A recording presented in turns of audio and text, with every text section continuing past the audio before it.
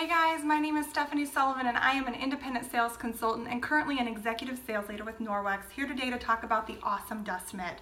So one thing that I have learned um, over the last few years is just how toxic dust is. It can contain phthalates, it can contain pesticides, of course pollens and many other pollutants that we are tracking into our homes and we really want to get it out of our homes. And so this is where the Norwex Dust Mitt comes in. You do not need to buy any consumable products, you do not need to have any sprays or wipes. It is just this dust mitt that is going to last you years and years and it works the same way the rest of our microfiber does, only it's a thicker weave and it's static electrically charged to pick up and remove that dust from your surface. Okay, so I have some flour over here that I have put on my counter to simulate dust. And I am just going to go over it with my dust mitt.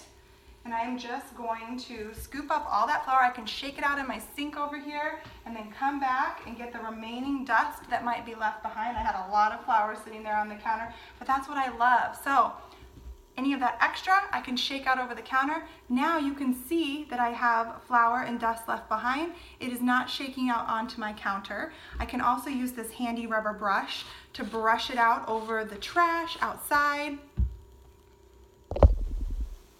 And um, just keep going and get all of my house dusted. It is super great as well um, when you have picture frames like this that you would not want to spray any harmful chemicals on, um, any water on even. It can just easily and quickly dust things like that.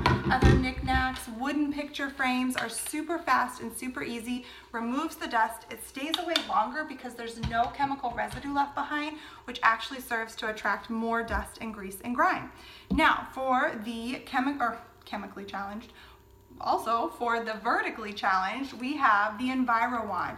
It comes straight like this and it detaches. It's this Enviro sleeve that detaches for easy cleaning when you do need to throw it in the wash, but it also bends so you can use it. One of my favorite ways to use this is on a ceiling fan.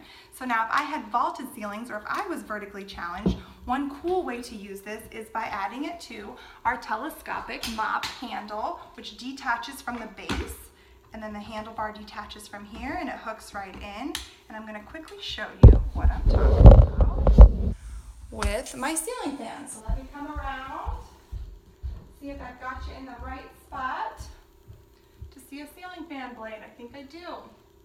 So these, how often do you guys dust your ceiling fan blades? They're so hard to get to. You don't want to have dust falling on the floor um, as you're dusting and like going into your mouth. This is going to grab, trap, and hold all of the dust from your ceiling fan blades super fast, super easy, and it's going to trap it into the Envirowand and not drop it down on whoever's sitting down below. If you guys have any questions, just reach out or comment below. Thanks, guys.